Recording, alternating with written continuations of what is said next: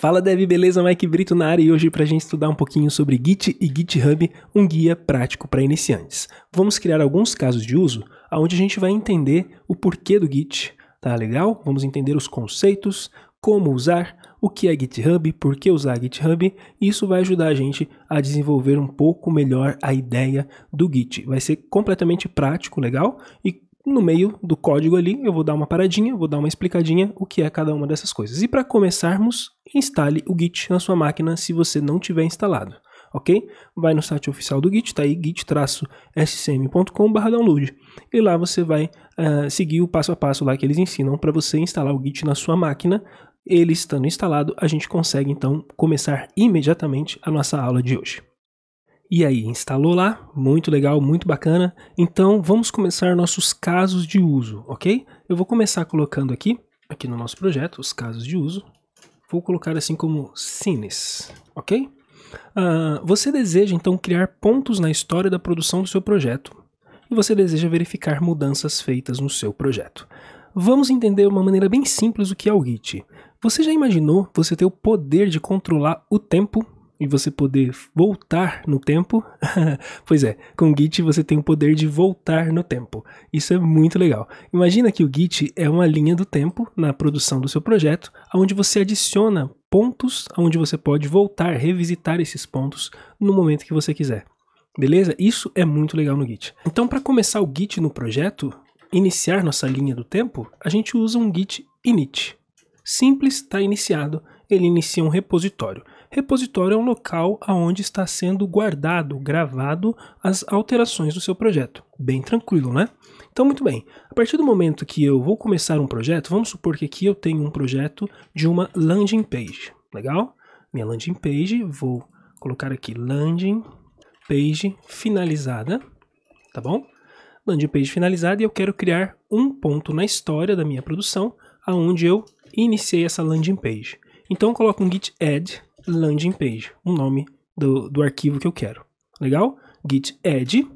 Assim que eu colocar um git add, eu posso colocar um git commit, sempre passando uma mensagem. Ele vai uh, levar essa minha alteração até o meu repositório, ou seja, ele vai criar o ponto na história. E eu vou colocar o nome como uh, adicionada landing page, ok? Landing page.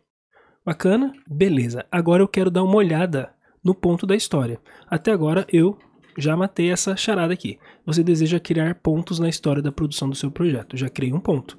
Eu quero ver esse ponto. Gitlog. Gitlog vai mostrar para mim os pontos na história desse projeto. Muito legal, né? Então, tranquilo. Eu quero fazer uma alteração agora na minha landing page. Então, vou colocar landing page. Landing page. Finaliza, eu escrevi. Vou escrever landing page alteração. Beleza, fiz a alteração. Agora no Git aqui eu tenho um comando bem bacana, o git status, que ele mostra o estado do meu desenvolvimento aqui no Git, legal? E ele mostra para mim algumas coisas. Primeira coisa que ele mostra é que eu tenho um arquivo modificado, que foi a minha landing page, tá bom? Daqui a pouquinho a gente vai entender toda essa mensagem. Mas por enquanto, eu tenho um arquivo modificado, que é a minha landing page, e eu tenho um arquivo que não está sendo observado pelo Git, tá? Ou melhor, observado está sendo, mas ele não está no histórico do Git, ok? Caso eu queira chamar esse arquivo depois, mais para frente, revisitar esse arquivo, ele não está adicionado na minha linha do tempo. Para a gente entender como que funcionam esses pontos na história, o Git ele, vai, ele não vai pegar, você já percebeu que ele não vai pegar qualquer arquivo que ele quiser. A gente precisa avisar para ele qual arquivo colocar nesse ponto na história, qual arquivo enviar lá para o repositório. Tá? O comando do commit vai sempre enviar arquivos para lá. Mas quais arquivos, Maicão? Esses arquivos que a gente adicionou com o git add. Tá? Nesse momento que a gente coloca o git add, a gente está colocando esse arquivo numa área especial, onde o git consegue observar aquilo quando é feito o commit. Legal? Então, como o readme não está nessa área especial, mas a landing está, né? Então o readme não vai para o meu ponto na história, mas a landing vai. Agora ela vai, Maicão? Agora não, porque eu não adicionei ela um novo ponto. Legal, então para eu adicionar novamente essa atualização da landing page, eu coloco novamente o git add landing page. E depois um git commit para criar esse ponto na história, ou enviar esse arquivo para o repositório. Legal? Update, updated landing page, tá? Então, criei mais um ponto na história com a minha landing page atualizada. Legal? Eu não sei nem se eu tinha salvado a minha landing page, mas vamos dar uma olhada no nosso git status para ver se ela ainda está ali. Bom, não está, então deu certo. Muito bem, eu posso então uh, eu posso então revisitar ou verificar as mudanças feitas no meu projeto com o git log. O git log então mostra que foram feitas duas mudanças. Veja bem que eu tenho que sempre avisar o git sobre essas mudanças. Ele consegue observar tudo a partir do git init, mas eu preciso adicionar os pontos na história, que foram dois até aqui. Beleza? A partir do momento que eu adicionei os pontos na história, eu consigo revisitar esses pontos e observar o que foram feitos neles. Eu posso então copiar essa, esse commit, beleza? E eu posso usar um git show colocando o número do commit.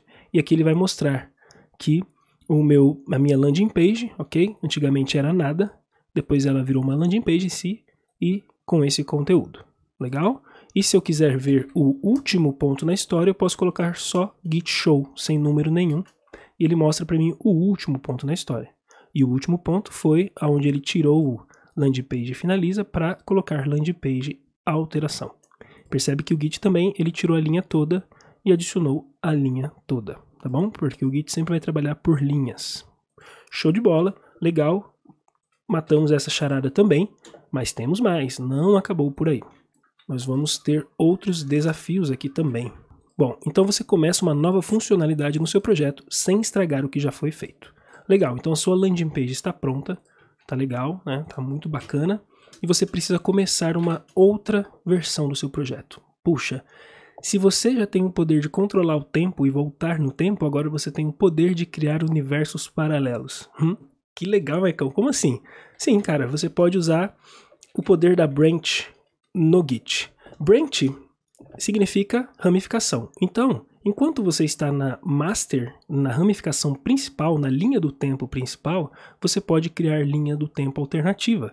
Legal? A partir da branch. Então, git branch, você pode colocar um nome para essa branch do tipo cart. Vamos supor, tá? Eu vou colocar assim, ó, feature cart. Vamos supor que você, seu cliente pediu para você adicionar um carrinho de compras. Então, é a nova funcionalidade do seu projeto. E você não vai estragar o que já foi feito, tá bom? A landing page ela continua lá, e você vai criar uma branch nova. Então, para você mudar para essa branch, você pode usar um checkout, checkout e o nome da branch, feature card. Pronto. Aqui no meu terminal já apareceu que eu estou na feature card. Mas para garantir, eu posso usar o git status e ele mostra para mim que eu estou na branch feature card. Legal, então eu estou numa linha do tempo alternativa. E nessa linha do tempo alternativa, eu vou criar o meu cart HTML, ok? E aqui no meu cart HTML, eu vou simplesmente adicionar uma mensagem aqui, carrinho, ok? Produzindo. Vou colocar assim, ó, produzindo. Ele não está pronto ainda, tá bom? Estamos produzindo o nosso carrinho. Bacana, Maicão, mas então você está me dizendo que eu tenho duas linhas do tempo agora? Sim, temos duas linhas do tempo. Nós podemos voltar para a linha do tempo principal usando o git checkout master, legal? E nós podemos olhar todas as nossas linhas do tempo usando um git branch, então ele mostra aqui para mim duas linhas do tempo. A master, que é a principal, que ele sempre vai seguir por ali. Geralmente a master é onde vai estar o nosso projeto em produção. E a feature card.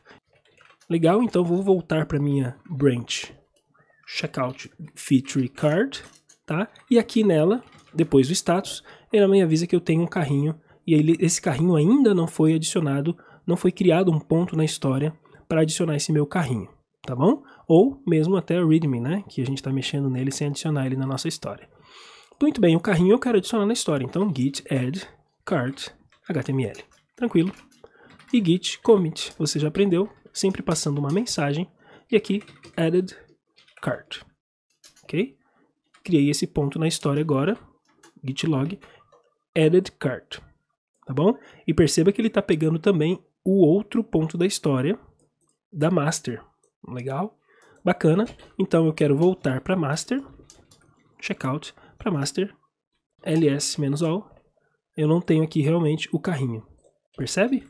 Percebe que eu não alterei a minha linha do tempo principal. Então eu comecei uma nova funcionalidade no meu projeto sem estragar o que já foi feito. Olha que bacana. E eu poderia tranquilamente estar usando essa landing page e tal, sem problema algum, sem estragar. E enquanto isso eu tô lá na minha, lá na minha linha do tempo do carrinho, e alterando meu carrinho, tudo legal, né? Vamos atualizar aqui, o carrinho já aparece e produzindo, né? Produzindo, vou colocar assim, carrinho pronto, carrinho finalizado, legal? Estou arrumando ele aqui, vou adicionar ele na minha linha com git add e git commit, dando a mensagem, né? Cart, ok, vou colocar assim, ok? Legal? E um git checkout, vou voltar para master, e na master a gente dá uma olhadinha nas nossas coisas, não temos o carrinho aqui, né? Porque não está atualizando aqui, mas não tem aqui o carrinho. Legal, então tá dando certinho a ideia, beleza?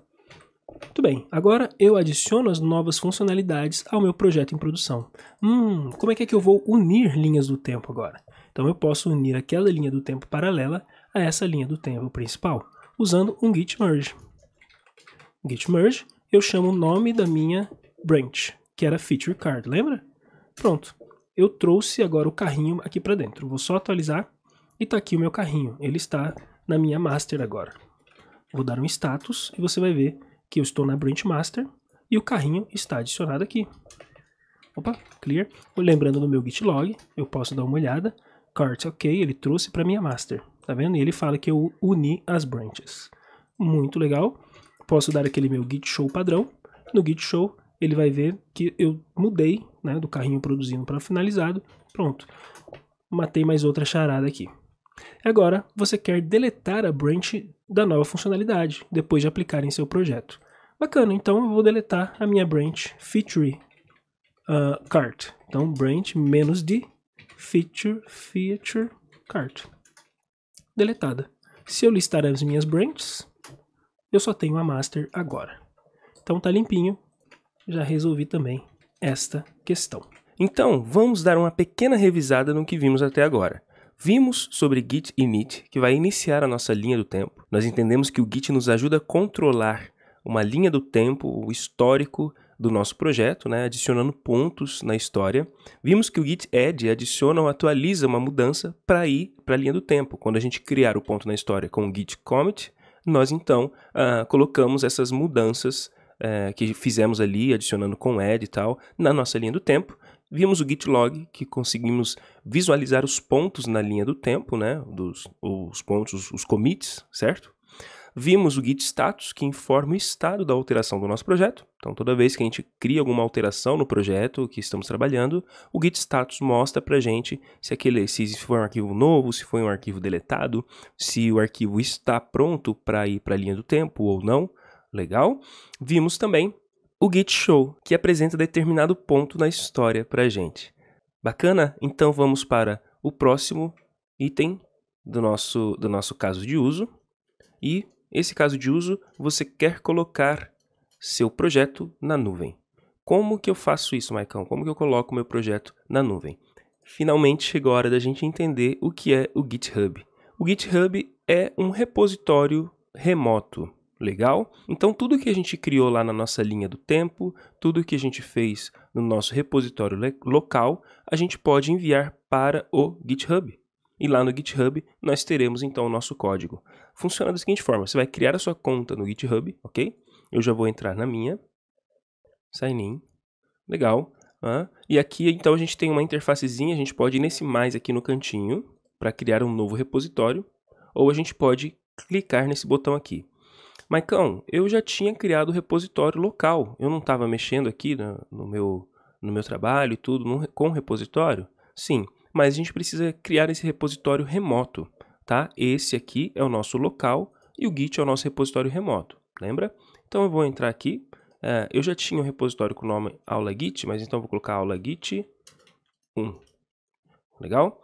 Então eu posso colocar o nome do repositório, uma descrição para ele, defino se o repositório é público ou privado, tá? Nesse caso eu vou fazer ele privado, e eu posso inicializar esse repositório com um readme, mas como eu já estou usando um readme no meu repositório local, eu não vou iniciar com readme, tá? E vou criar então esse repositório. Bacana, ele dá para mim uma sériezinha de comandos, caso a gente não tivesse feito git init git add, git commit, viu? Do mesmo jeitinho que a gente trabalhou até agora. Mas a gente já fez isso então, git remote add origin, passando o link. Então vamos lá, vamos criar isso daqui. E aqui eu coloco git remote add origin, origin, e o meu é o ala git 1. Bacana? Adiciono, ele já está aí. Eu posso colocar um git remote "-v para ver os meus repositórios remotos. E posso dar o meu primeiro git push. O git push é um carinha que vai então empurrar o nosso repositório local para o repositório online. Nesse caso, como é a primeira vez, ele fala que eu preciso criar a branch master no repositório online, através do git push-u origin master. Então aqui, git push-u origin master, bacana. Meu nome, minha senha, e aí então, uh, nesse caso, como eu já tinha colocado um pouquinho antes, ele fala que já está tudo certo, já foi enviado. Legal? Então vamos dar uma olhadinha no nosso repositório na nuvem nosso repositório na nuvem. Ah, ele está aqui, ó, cart e landing page. Maicão, mas você falou e o README, cadê o README? Bom, legal, se você me acompanhou bacana até aqui, você percebe que o README, com o nosso git status, o README até agora ele não foi colocado na nossa linha do tempo, ok? Então ele não existe na nossa linha do tempo. Mas já matamos essa charada, você quer colocar seu projeto na nuvem. Bacana? Então, agora para a gente dar até aquela outra fixada, git add, agora eu vou adicionar o meu readme, tá? Eu posso usar um comando curto aqui, que eu vou usar ele algumas vezes, git add pontinho. o pontinho vai adicionar tudo, todas as alterações, todas as coisas que tiverem aqui na minha pasta. Então, para a gente entender legal esse pontinho, vamos fazer o seguinte, já entendemos que o readme não está lá, a landing, ela está nesse, nesse estado aqui, landing page alteração, então vou colocar landing page alteração 1, bacana? E agora sim git add com um pontinho. E git commit "-m", agora eu vou colocar added car added readme e update landing, tá bom? Vou colocar essa mensagem, só para recapitular, já sabemos que esse commit está na nossa máquina local, legal? Tá aqui. Então, eu vou push, vou colocar ele na nossa nuvem. Beleza? Agora eu não preciso passar isso. Já criou lá a minha linha do tempo. Master. Então, git push e foi. Fica um pouco incômodo a gente ficar colocando nosso nome e e-mail aqui no git, então eu vou te dar uma diquinha. git config credential helper, tá? credential.helper store e aí então, a gente todas as vezes que a gente colocar agora na nuvem, não precisamos nos preocupar em colocar login e senha tá bom? Ele já pega aí porque eu coloquei da última vez. Bacana. Então, voltando no nosso, na nossa nuvem, tá? Nosso GitHub, eu posso dar um reload e aí veio agora sim o meu readme, ok? Do jeitinho que a gente está fazendo. E a minha landing page, olha só a mensagem que ele já mostra aqui, ó. Foi aquela mensagem que a gente colocou no nosso commit, né? Landing page veio alteração 1. Lembra que ela pegou porque eu coloquei aquele git add pontinho. Bacana?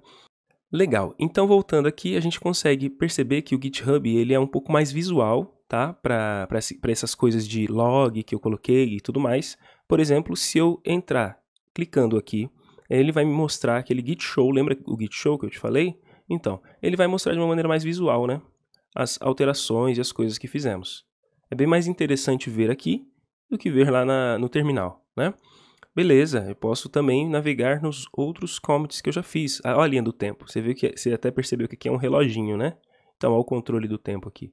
Então, você consegue ver aqui, como uma linha do tempo, os commits que você deu. Eu dei aqui esses commits nesse dia, nesse dia, esse, bacana. E então eu tenho aí como navegar em todos esses commits. Olha aí, olhando todas as alterações no ponto da minha história. Bacana? Então tá bom. Então a gente matou mais uma questão aqui e vamos também, vamos, opa, e vamos também para mais outra questão. Ah, e percebi aqui que eu não coloquei também outras coisas aqui na nossa revisão que a gente vai fazer agora. Então, a Git Branch, já vimos também, ele gerencia novas linhas do tempo, legal? Ele pode deletar, como a gente viu, ele pode adicionar. Show? Git Checkout, ele vai manipular as linhas do tempo, a gente consegue pular de uma linha do tempo para outra. Git Merge, ele vai unir as linhas do tempo. E o git push, que a gente viu agora, ele vai enviar alterações locais para o repositório remoto. Bacana? Então vamos para outro desafio, como eu falei. Esse outro desafio vai ser o seguinte: você vai pegar um projeto já iniciado para trabalhar com o time e você precisa resolver um conflito. Hum, interessante. Como que eu vou pegar um projeto já iniciado? Então a gente volta no nosso GitHub, tá? E no GitHub a gente pode uh, pegar algum projeto. Eu vou pegar algum projeto que eu tenho aqui, só para a gente... Vamos pegar esse daqui. Pronto. Eu vou puxar esse projeto aqui. Posso usar esse botãozinho aqui, ele vai me dar aqui o link. Eu copio o link, ok? Volto para o meu repositório local e eu posso dar um git clone e colocando o link que eu quero. Dessa forma, eu já vou pegar um projeto já iniciado para trabalhar com o time. Já sei pegar o projeto, bacana, é o git clone. Então, git clone, eu vou dar um, um ls-all, eu tenho agora uma pastinha nova, tá? Ele veio com a pastinha com o nome do meu, da pastinha que eu criei lá no Git. Legal? Se eu atualizar aqui, eu vejo ela. Vou entrar nela. Instagram Profile Header. Beleza. Aqui eu tenho os meus arquivos. Legal? Posso dar um git status, ele vai estar limpinho, sem nenhuma alteração. E aqui então eu preciso resolver um conflito. Primeiro eu vou criar um conflito, né? Então eu vou criar uma linha do tempo nova e mudar para essa linha do tempo, né? Então eu posso usar já a palavrinha do git branch, né, que você já sabe. Eu vou criar uma branch nova e mudar para essa branch. Tranquilo. Eu posso usar um comando curto, checkout "-b", que é, é a branch, né? E eu vou colocar assim teste, qualquer coisa, tá bom? "-b teste. Então ele vai criar uma branch chamada teste e já vai fazer o checkout, já vai mudar para essa branch. Vamos lá? Olá, branch teste. Legal? Eu vou pegar então dessa branch teste, vou pegar aqui que arquivo? Vou pegar esse package.json mesmo, tá? Vou abrir ele aqui, package.json. Só para fazer uma alteração simples, eu vou tirar essa linha de description, tá? Vou remover ela daqui, beleza? E vou salvar. Bacana, então no meu git status agora, clear git status. Então eu tenho aqui, ele está me avisando que eu tenho um arquivo modificado. Uh, lembra que eu te falei que eu ia te ajudar a ler essa linha? Vamos dar uma lidinha nela agora? Agora a gente já consegue, né? Você está na branch test. Tranquilo, branch você já sabe o que é, é a ramificação. Então você está na ramificação, você está na linha alternativa teste. E você tem mudanças que não estão prontas para o commit. Legal? Então lembra que eu te falei que antes de você adicionar o git commit, você precisa colocar o git add, que ele vai é, preparar aquele arquivo para adicionar aquele ponto na história. Então é isso que o git status está te dizendo aqui, que você, uh, apesar de você ter mudado o package.json, ele não está preparado para o git commit, ele não está preparado para o ponto na história.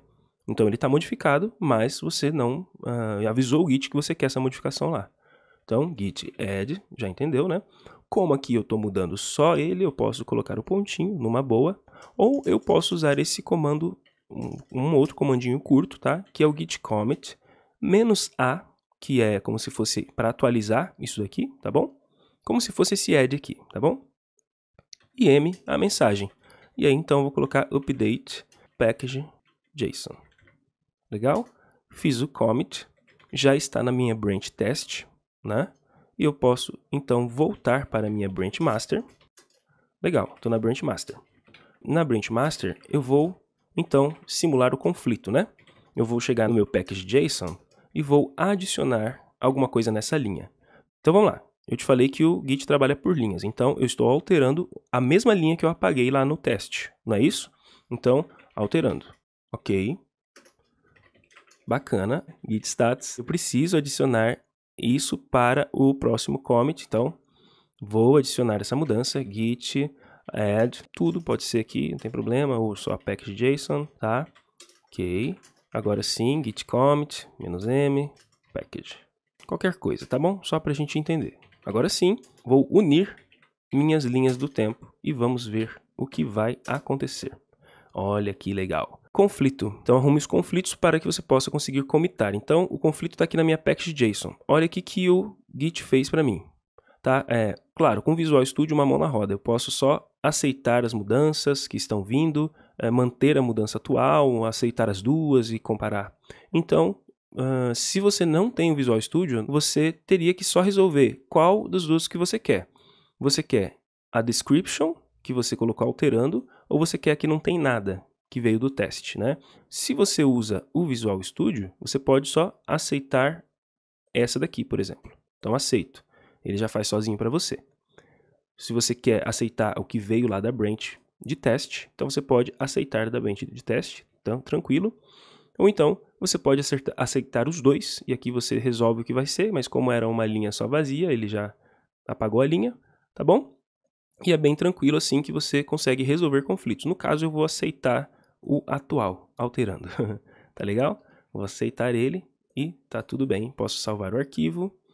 Vamos lá, clear. Limpei ali, vou só dar o git status. E ele fala para mim que não foi mergeado, não deu certo, né? Porque eu tinha que ter resolvido o conflito. A partir do momento que eu resolvi o conflito, eu vou adicionar esse package JSON que está resolvido o conflito. Posso ser assim, ou posso fazer direto o commit, porque nesse caso eu não quero só adicionar, eu já quero comitar de uma vez.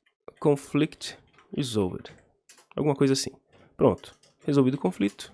Git status.